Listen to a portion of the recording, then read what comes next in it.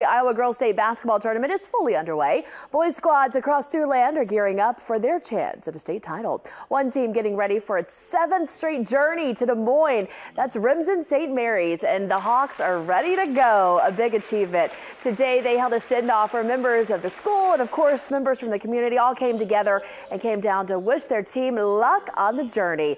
The Hawks are looking forward to some big wins and a big crowd. We know we bring a lot of experience and a lot of um, games played on that court, so we know what it takes to win too. So because we won a few, and we're looking to make some noise as a six seed. Do you see a lot of like past uh, alums or from Remsen St. Mary's that live down that area that all come out to the games to support us? We have a big fan base for a small school, so it's really awesome.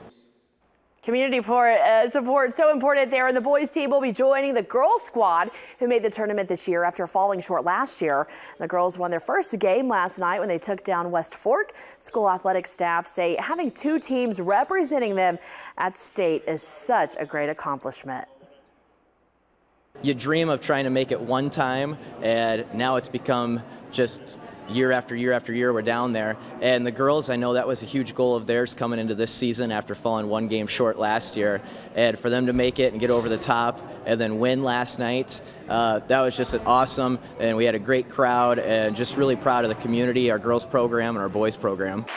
The six-seeded Hawks boys will take on Gladbrook Reinbeck on Monday. That's March 6th. The game time tip-off is at 3:45 p.m. Now for the girls, they're going to play again tomorrow in a semifinal matchup. That's going to be against top-seeded Bishop Garrigan.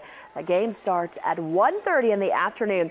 You know, Remsen St. Mary's, as we mentioned, one of the only five Iowa boys basketball teams to make it to the state tournament seven plus consecutive times.